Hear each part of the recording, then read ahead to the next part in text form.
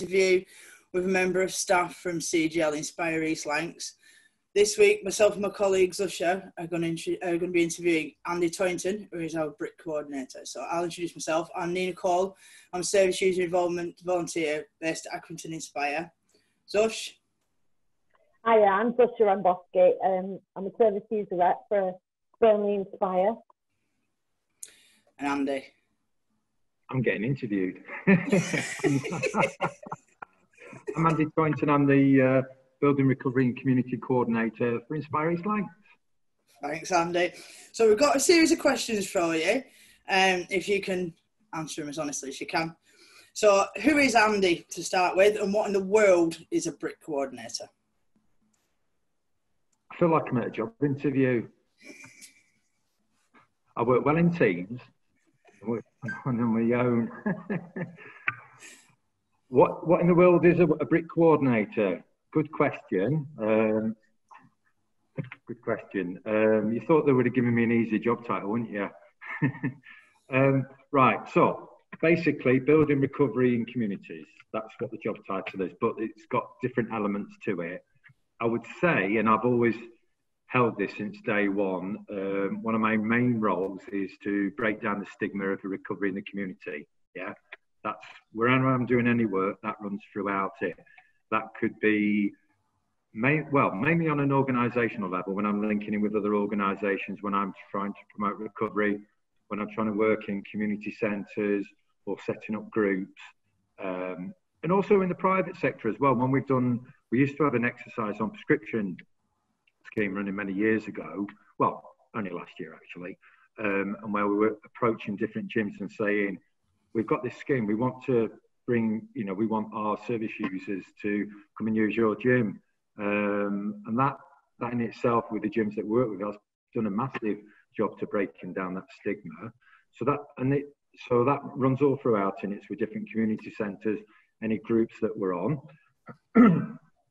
the other part of it is what I inherited from when I was a, an academy coordinator, is about coordinating the activities um, to in order to support people's recovery capital. Recovery capital. Um, now it's either running the groups ourselves because it's not just me. Uh, there is a BRIC team. Um, we may be a bit parted at the moment because of COVID, um, but we, it's not just me that runs this stuff. So it's the activities that we would run, another organisation. Um, so we work quite closely with Active Lancashire, um, CSI. We do a lot of work with them. So, um, and we also work very closely with Red Rose Recovery as well. So we do a lot of different. There's a lot of crossover there, um, and we we were putting an activity program together, which we've run for a couple of years, and we're going to restart that um, for autumn. So there'll be like a couple of pages, and it'll have a timetable with what Red Rose do, what we do, uh, and what we're Active Lancashire, so people can have a look at that and pick and choose. So second part of the question was what coordinating activities. Uh, another key element of my job is um, about the sort of helping people in recovery set up their own businesses or ventures or non-for-profit. Now, Red Rose Recovery manages some of the money which is called BRIC funding and stepping stones. Um, my the, our role is to support people with their applications to get that. So if somebody comes along and says, right, I want to set up an arts and craft group for people in recovery, we'll say, fine, uh, and we'll support them with the application process, and they can either apply for £500 or 5000 Now, if somebody comes along that used to be a plasterer or a joiner and says, Andy, I really want to start my own business now, I'm in recovery, and then it's the same format, but they can apply for a bigger sum of money, up to £5,000. We've been doing this for many years now. Um, now, because of COVID 19, what would not, we've had to change it slightly. What normally happens is I'll meet up a couple of months before, we'll go for a business plan, we'll go for the application form, and then get them to the point where they go for the first interview. We've had to sort of, sort of adapt to circumstances.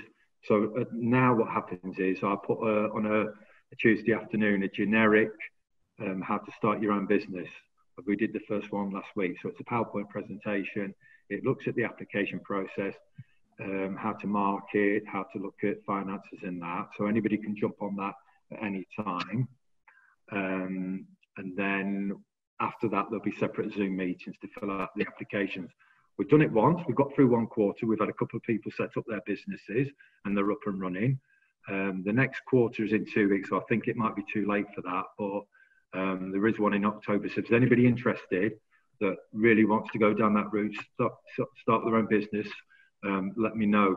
But it's also for organisations that want to set up and uh, set up, you know, to, to fund stuff for individuals in recovery. Yeah. Um, oh, and the last bit of my job is to do the like events and stuff. So over the last sort of few years, we've done Pride, the National Recovery Walk. Um, this year, obviously, it's changed slightly. There's no Pride, but the UK Recovery Walk still taking uh, going ahead later on this year, but that's going to be online. Um, so we're involved in that. So we used to have about one event a month where we used to get uh, volunteers in recovery doing like um, certain runs, you know, 10k events where we were stewarding. There's always some, there was always something coming up, but hopefully next year we'll start the ball rolling again. There you go. That's the first question answered. wow. Um, I was well. So, what do you most enjoy about it? Pretty much everything from sound of it. I, I, I'll be honest. I love most. I love all, well. I love every aspect of my job. Yeah, and it sounds corny, but it's taken a few years to get here. But yeah, um, I love the variety. I like the autonomy CGL give me to start groups and that. That you know they're pretty good at saying right, okay, to run run with a new venture. Some of the ventures have fallen flat over the years, but I love the concept of having an idea and then putting it out there, and then there's being an end result to it. Yeah, um, create something out of nothing. So the adapt, you know, it's recently the last sort of five months we've had to totally look at what we're delivering. I, I remember when the lockdown came in, all our groups were face to face, and that were it. It were gone in an instant. So we've had to sort of reinvent ourselves and gradually introduce new ways of working and delivery. Obviously, there's a bit of Zoom fatigue with that because all our stuff's on Zoom, but yeah. Um, but I love, I love it all. Yeah. Excellent. So, what do you like the least? What's your least favourite? um, two things. The, the sort of discrimination that I experience when we're setting up stuff that that's irks me. That's that does sort of like, and you have to be professional about it and then move on from it. Um, and I did a, we did this management thing the other day, like what type of worker are you? That you've probably done them before, and you tick off your styles of delivery. And my, my I came out as a creator and a contactor, but I came out lowest score on admin. So that answers your question. so everybody knows me. Yeah, I can do it. Yeah, but not your favourite. Uh, yeah, yeah, you put me on the spot there. Like Piers Morgan in the signal service. What's been your most memorable gig? Right. Um, uh, it's hard that because we've done this, we've been doing lot, lots of events and things over the years. So, one, I would say, in terms of physical mem- mem- memorable would be when a few years when we had a cycling group and uh, we spent about six months training and a group of us service users and we cycled from Morecambe to Blackburn in one day. Um, I think it was 50 miles, but it took months of going out there, riding from Rawtenstall to Burnley and back, and we all joined up at Morecambe. So there was there was guys from all over um, the service in the northwest. It was it was an absolutely brilliant day that that would be a physical challenge. I would say uh, memorable in terms of the music, the bands that we formed. We once performed at Old Trafford at the football ground. That was an experience. We didn't actually play on the pit. We played in the in the perform, you know, in the, the suite there. That was a, that was a good day out. And then I think really the, the sort of creative art stuff that we've done, the shows, the pantomimes. Now, when when I first ventured a pantomime many many years ago, everybody was taking the mick, right? Um, and other people said you can never do that in recovery. And we thought, well, why, why can't we? Yeah, and this is the BRIC team. And if you think about it, pantomimes are sort of like the most difficult piece of theatre to do, but it gives so many skills. It gives people the skills to learn lines, to act, stage presence, sing and dance.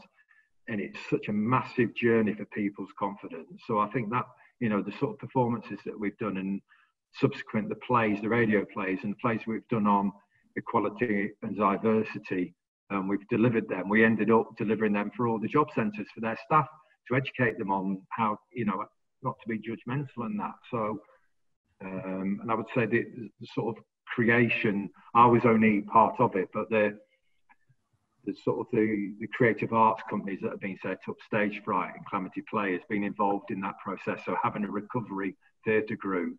So that's not my achievement. That's just being part of it, you know, because there's some fantastic people that have done that. So, yeah. That's fantastic. What so? Maybe not one of those, but what's the funniest thing that's ever happened to you during this role? Because there must be loads. There's a few. Um, I don't know if it's funny or not, and I don't know if it's in it. But well, right, so every Christmas for the last few years, we've gone round. We do carol singing with Calamity Players from Accrington. Yeah, hello to everybody in Calamity Players. So every year we go round Accrington and we do carol singing, and then we go around Burnley. We do about five or six care homes. One year we went into this particular care home and they started, uh, some of the residents started taking a liking towards some of our uh, male members uh, of the of the group, and they were going out and trying to uh, snog um, different people. Liam got um, somebody took a fancy for Liam Lever as a worker, um, and there was a few, and we, they had to hold them back. And then one lady was chasing me around with my guitar, and at the end of it, we all got to the minibus and we were like looking through our pockets and uh, we, would had our mobile phones and wallets had disappeared on us. Um, it wasn't deliberate because it was like a, a, unit that was like that, so we had to go back and get all our phones and that. So that was a memor- memorable one. Um, one more is what we did a pantomime years ago at Clitheroe, and we were rehearsing one afternoon, and uh, a load of bricks came through the window, um, and so we ran out, and it was a bunch of school kids. And I remember me, one of the volunteers called Gareth, he shouted out, "You boys, come here!" like that. Now, if that been in Burnley, yeah, they would have legged it and told us what to do. But they stopped, and we didn't know what to do. And like, so they stopped there, and I'm like, "Right, what do we do now?" So we got the names and addresses and told the school. So it, I don't know if it was funny, but it was memorable. That's brilliant. So you're a man of many talents. You do the Academy Kitchen, you do the confidence building course, the band, the pantos, the drama clubs, the social evening. The list just goes on. So how on earth do you manage your time? How do you manage to do all this different stuff? Um, I think it's just having support of my family and that, yeah.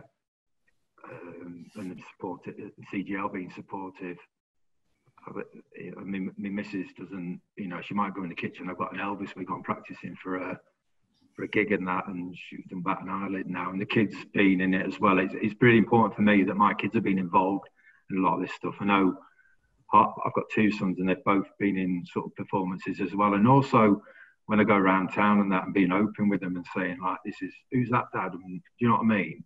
And I think it's important to educate at an early age with stuff and not to judge people so really, my family and also with CGL being really sort of like letting me come out with some daft ideas and letting them run with it.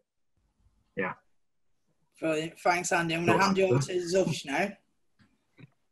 Thanks, Nina. Hi, Andy. Hiya. Um, yeah. So, Andy, um, what made you want to work in this area, serving? Oh, that's a difficult one. I, I sort of it, it's it, there's always been something in me that's gone down sort of caring profession. I don't know if that sounds a bit corny. So I was in the forces many, many years ago, and it wasn't for me. Um, and I was a youth worker, and then I was sort of drawn to, you know, like where there's an inequality in that. And then I sort of ended up as a youth worker and a homeless worker, and then I ended up working for ADS. Um, Uh, on the criminal justice side in the cells and the prisons and that. And it was just a natural pull to this sort of area of work. And it would just, I think sometimes you don't have a plan, do you? Something with life, and it just opportunities or sort of like things just say, right, this is what you should be doing. And my instinct, yeah. And this is the longest that I've sort of I know this is what I want to do, this is what I want to be, and I ain't got any, any other plans to go anywhere else as long as CGL keep me on, yeah, until I'm 65. I don't know what the retirement age is now, 78, is it? I'm at 68. So there's just something inside that drives me, yeah. And now I got here, it just, yeah. It does seem. Feel, yeah, I feel this is. Yeah. Um, so, what are your likes and dislikes and your favourite things? Um, likes and dislikes. I like being with my family. I like um, that, that's my priority at the end of the day. Um, I like playing the guitar. I'm not very good at it. Um, I like writing uh, plays, but mainly comedy plays. So last night I was doing the uh, the one for Christmas. Don't tell me, boss, we should be watching this. um, but yeah, that sort of, and then getting spreading that idea and then getting people involved. It's fantastic just to have a little idea, and then at the end of it, you're performing in like two, three hundred people from you know, and that sort of that's what that's I love that sort of creativity and sort of you know and knowing that it's going to help people's confidence, even though they're stepping outside the comfort zone at first. And when somebody says they've got, yeah, I fancy doing that, brilliant, yeah. Uh, dislikes, um, I don't like red tape that's there for no reason. Yeah. um, and again, sort of like bullies, I hate bullies. I hate sort of when people are repressed and that, you know, people that are sort of like exploited and stuff. Right, yeah, right. um, so have you got any hobbies? Uh, I know you've touched on a few already, but and is there anything? Is there anything that you've had time to do, especially like with the lockdown, you know, that you might not have done before? New hobbies?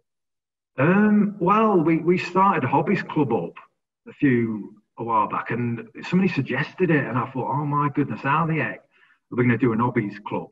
And I'm still struggling with it, but it, when we had the first one, the, the, the, some people were coming on with what they were doing, and, and it sort of like inspired others to bring stuff together. We've still got a lot of work on it to do, but um, I I bought some boxing mitts um, to do some to work out to box exercise and um, I did stuff with the kids like you know built a garden shed over the lockdown for me. Lad wanted a shed for his birthday, so I, I, I always try new things out and that. Um, so I think lockdown were difficult at first to find a focus in terms of everything to cut off. So I just try to work out every day with some limited dumbbells and that. Mm, and yeah. And what do you consider to be the biggest successes of your role? I don't know. I think, to be honest, with meeting the people that that I've had the privilege to meet over the years, that does sound corny, but you know, I've met so many brilliant people, you know, that have you know, that are still there or they've gone on to pastures new. Um, and, and seeing people, you know, that sort of journey that somebody might have been a volunteer um, or, sorry, in service and then becoming a peer mentor and a volunteer and that's now a paid worker. That is, you know, stuff like that. So the, the achievement, it's not, I don't know if it's about achievement, it's just like, you know, the, the the, the, formation of different things that happen, like the Stage Fright, like the calamity players. But that's, like I said before, that's all the people there's, you know, out there. There's, there's hundreds that have been involved, you know, and that have moved on there's to, to, to paid stuff as well and whatever, you know. So it, it's, yeah, you forget as well, you know, what, but, you know, I, I think now, isn't it, it it's, adapting to now as well, having to really, yeah, and not seeing people. Right. Thanks, Andy. I'll hand you back to Nina. Hey, back to you, Nina. Thanks, Josh. Hi, Andy again. So, obviously, we're both service user reps. So, um, what is your approach to service user social engagement? Because part of your that's part of your role, isn't it? Yeah, I think first of all, when when when um, like many people, back in March when when it all happened, I think quite a few people went into scare mode. Yeah, um, I remember Rachel Taylor sent us a, an email, and there was this target, and in this target was how people react might react to COVID. So in the middle was scared, frightened, the unknown, and then the outer circle was adapting, and then and then sort of then cycle change, and then later on sort of stop operating effectively. So I think first of all, it was like, right, everything's gone. Yeah, your job's gone, Andy. What can you do? So it was adapting to that, making sure. So I, I wrote an article on mental, to with mental health in terms of isolation, and we managed to get that out.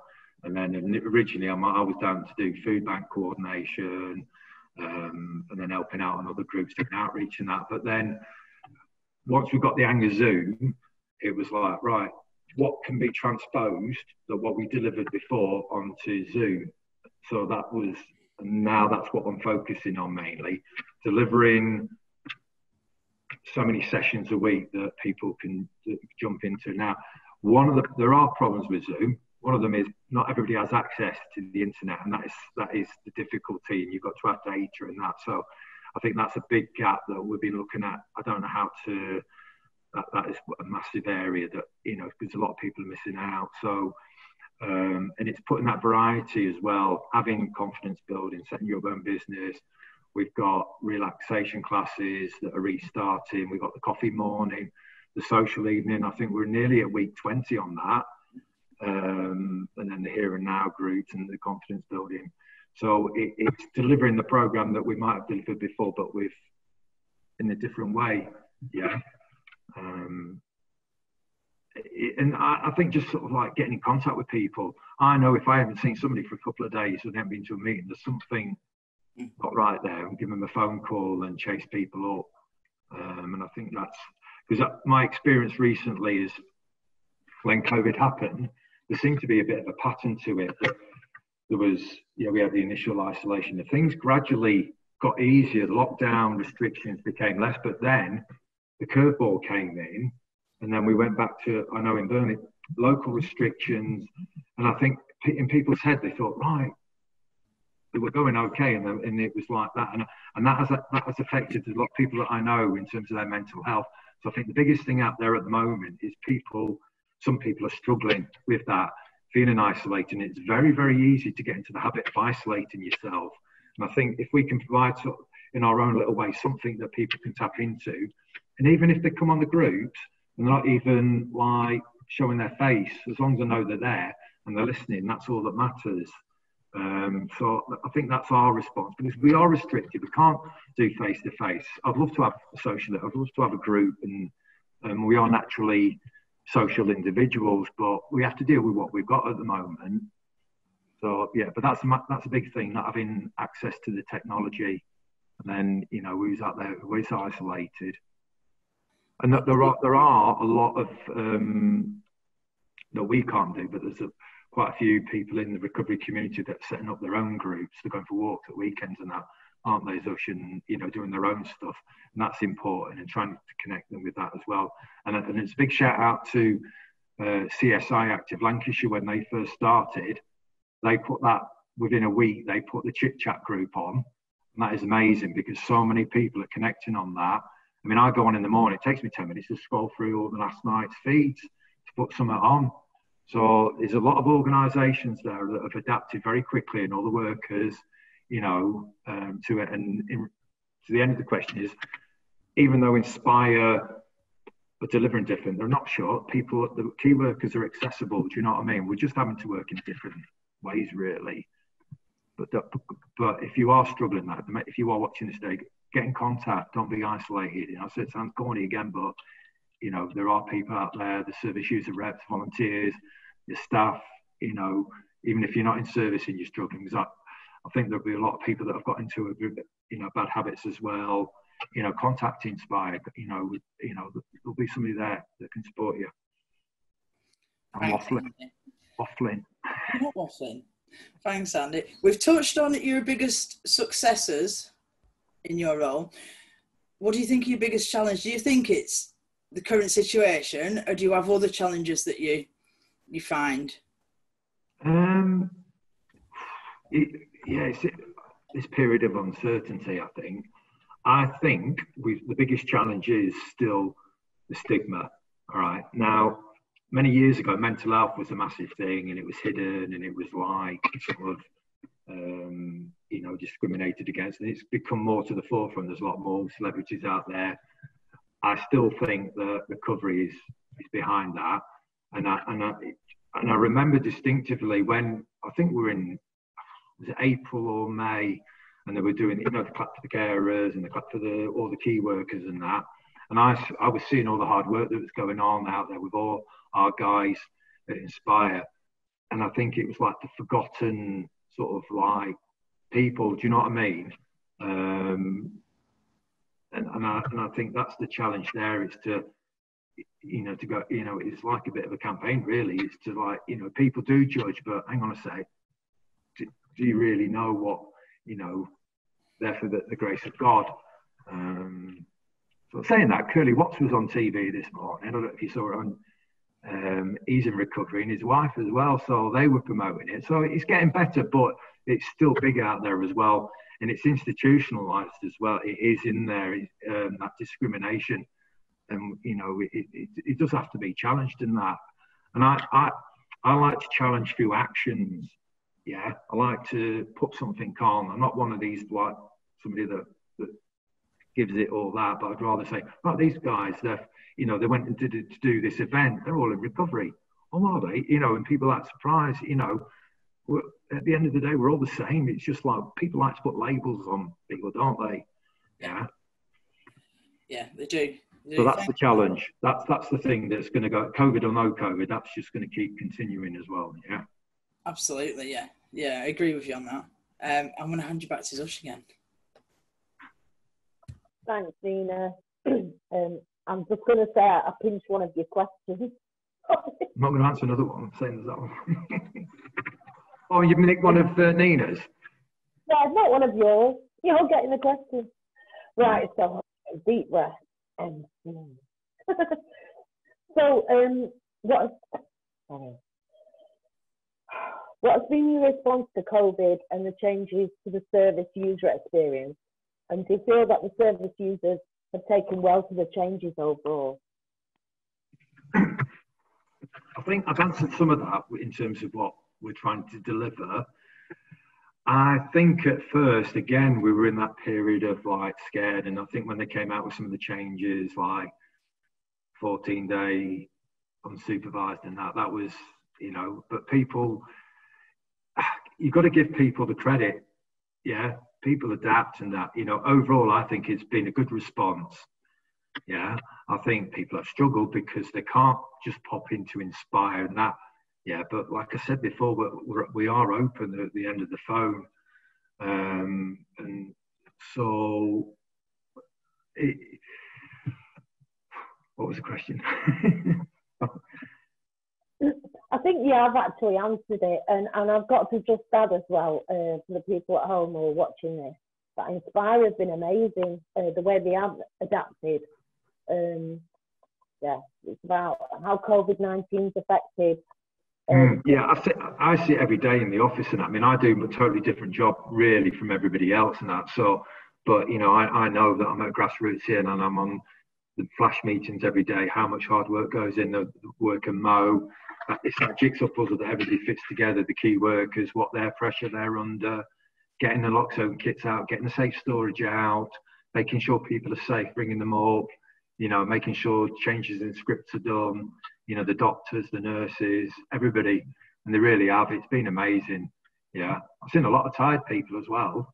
Um, but yeah, they have. It's been, it's been it's been good in that sense. It's not been good COVID nineteen, but seeing people respond to it, yeah, it's been, yeah, it's been a sort of an honour to be part of that. Yeah. Uh, so, what's your exit strategy? Um, will the service go back to how it operated before COVID nineteen? Um, I'm chomping at the bit with certain bits that I want to do. Yeah, obviously with the cycling and the walking and other stuff. However, however, there's sort of stuff like I'm going to keep a lot of things that we're doing already because, like for instance, the social evening, when we were doing them before at Burnley or here, we we'd have about 20 people, yeah. But on with the Facebook Live when we don't get kicked off, it's I've done the figures. I had to do a report this morning of all the sort of events that we've done. And over a quarter, with all the stuff that we would normally do pre-COVID, it was about 900 with all the different groups that we'd run, the breakfast clubs and all that. Um, and I think because we were involved with doing some stuff for Red Rose, um, going on some of their interviews um, with Active Lancashire, and when we did our talent evening, the first quarter, I think we reached out to 24,000. I mean, that's like, I was like, what? 24,000 people have had sort of not done stuff, but have actually been aware of it. So, sorry. I think I would like to keep a lot of the groups. Um, the confidence building is a good one to keep as well because, ironically, and it's a catch 22 with confidence, if you're going to do a confidence building course, you're lacking confidence, so you ain't going to turn up to a group and sit there. But having it on Zoom allows that yeah, you can sit there and you don't have to say a word, but you're still taking part. Um, so I would say, you know, a lot of the stuff that we've done, I, would like to keep in terms of an exit strategy. We're at level. I mean, I know the, some of the hospitals in East Lancs are still on level four. We're on. I don't know if we're on level three at the moment. But until we're down to level two, or even level one, there isn't going to be that face to face. And I don't. I think, just for my opinion, with autumn coming up, the school's going back. I'm planning an autumn program online till Christmas at least. Yeah. Um, anything after that is, you know, a bonus. But I've got to, I've got to think ahead. That's my. So if that, that's not an exit strategy, that's a sort of adapting, you know, and eventually, um, because this could go on for some time. But you know, there are some benefits that we're going to keep some stuff. I would say. Yeah, that, that number is great, by the way. That number is so great. And I think a lot of people, some like coming into the service, but I think a lot of people also, they might not want to admit it, but they find it easier to do it over over technology. Um, yeah. Over, so yeah, that's brilliant. That that is but, that that many at say. no, but it goes back to the problem I mentioned before that even though we're reaching out to so many people, the people, some of the people that we really need to meet the most vulnerable, they don't necessarily have the phones and that, and that's something that needs, you know, because we can offer a whole service, but it means having a phone, it means having access to the, you know, and I don't, that that's something that needs to be looked at, I reckon, at some point, if we're going to continue down this route, yeah. Something to take to your bosses, Andy. Right, I'll hand you, I'll hand you back to Nina. Thanks, Zush. Um, so, just a final thing. Um, what message do you have for our service users as a takeaway? Um, connect. Don't be isolated.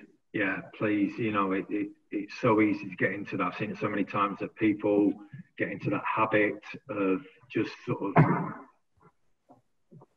you know, it's a protection. It's like, but you know, it, it's you've got to look after your mental health. Yeah, in order to do that, you've got to exercise. You've got to get out there. You've got to try and meet with, you know, to connect with people. Um, but, I mean, I've, I've, spoken to a lot of people. One of the things a lot of people, I'm fed up watching daytime telly. Yeah. And that, that I was amazed how many people said that. I, my, main advice that I said at the start was you have to have a routine. Yeah. Get a routine to your day. Write it down. Even if it's little things like I'm going to have the house tidied by five o'clock. I, when I first started, I had a list of jobs by five o'clock. I need to do this. Have a structure and have something to look forward to as well, and be kind to yourself. Yeah. Um, something I, I, read the other day. I can't remember what it was, and I just done it on the confidence building course. So it's that three second rule. Yeah. But you got the three second rule in your head is right. I'm going to act on this within three seconds. Yeah. So you get up and you go off and you do it. Yeah and get out of the habit. So we might have created a lot of bad habits during this period. I mean, I know I put bloody stone and a half on, and I think that was down to unconscious stress at the time, trying to juggle everything. Um, but well, I'm going to have to do something about it now. So the message would be: don't isolate. Ring if don't be on your own, but ring up people, friends, family, get in contact with us. Try and get logged on to some of these groups and that, and get a routine. Look look forward to some of that. Yeah if you can, if just want to, yeah. Not, Richard and Judy. Well, it's not Richard and Judy anymore, is it? Shows I don't watch daytime. I don't think it's any different, Andy, to be honest. I really don't. loose women. Thanks for that, Andy. Thanks, Josh. Um, it's been really lovely to get to know something about not only Andy the worker, but Andy the man as well. Thank you. so to speak. Um, thanks again, and um, we'll leave it there. Thank you. Yeah. When do I start? Monday? Yeah. Yeah. I get a uniform? yeah, you get pay rise and all. Well, you would if I were in charge. All right. Thank you.